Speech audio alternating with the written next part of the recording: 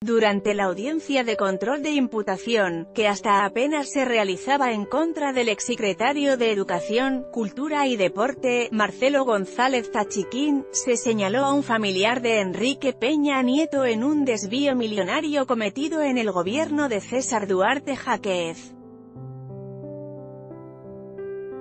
De acuerdo con la información publicada en Sin embargo, se trata de Juan José Chimal Velasco, esposo de una hermana de Peña Nieto. Chimal junto a su esposa Verónica y su cuñado Arturo Peña Nieto.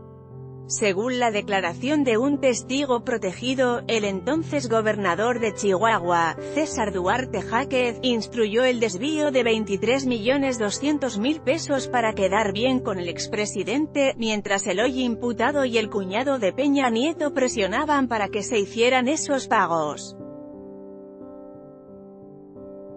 El testigo afirmó que les ordenaban hacer ese pago a favor de la empresa Explosean SDRL.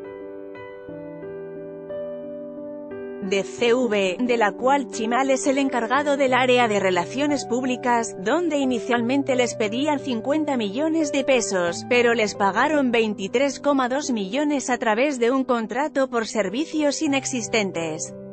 El diario Reforma publicó que Chimal habría sido intermediario entre Duarte y otros empresarios de la Ciudad de México para que se otorgaran recursos públicos a la empresa del centro del país en la que tenían intereses.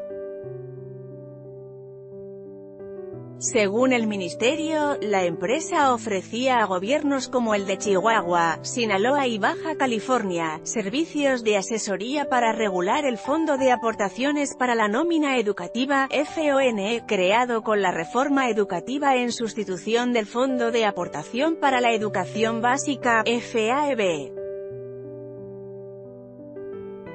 De acuerdo con lo narrado en la audiencia, los acusados aprovecharon varios de los vacíos legales que detectaron durante el cambio de un programa a otro, para hacer la transacción. Con información de Sin embargo, El Financiero y Tiempo Fotografía Especial Anímate a comentar. Queremos saber tu opinión. Comentarios Powered by Facebook Comments.